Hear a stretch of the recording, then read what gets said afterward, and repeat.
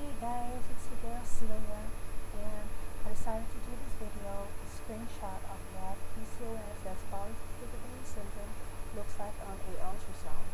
So here you'll see all these are cysts, and these are on the ovaries.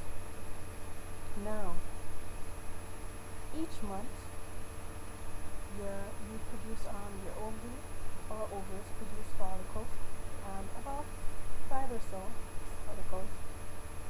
And then the dominant follicle, that is the larger follicle, will take over, release the egg, and so the other remaining follicles will just um, be absorbed back in the body, and then this process will take place next month the same way.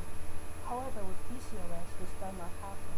The other follicles, as a matter of fact, there are no dominating follicles. All the follicles stay at the same level and no follicle takes over, no released, so it just remains there. Then next month, what happens is some more come and some more come and some more come. So that's what happens with PCOS. Now, if this is left unattended or untreated or whatever, you will find that the ovary, as you can see, this one has a lot of cysts now.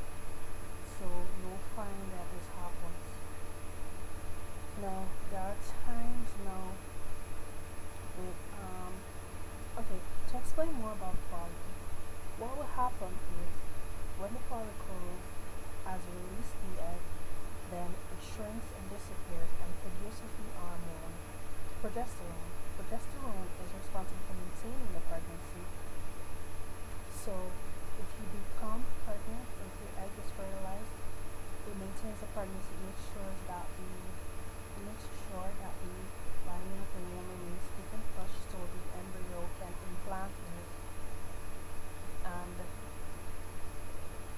stay safe until the placenta takes over and does the work that you know the progesterone would do. Now in case with the PCOS that does not happen. So there are no dominating follicles, there are no release of any egg, uh, if you do get lucky and an egg is released, um,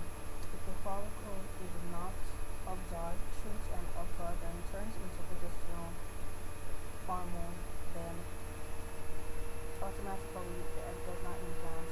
You pass it off and end up thinking that that's just your career, that um, you are even pregnant.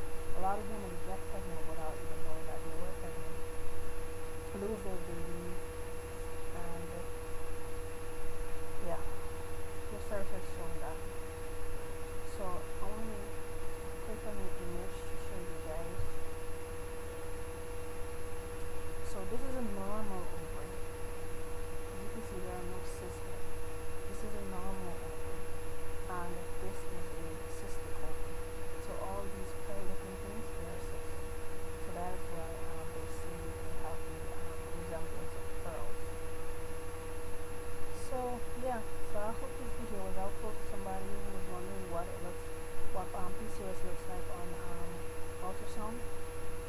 것 같아서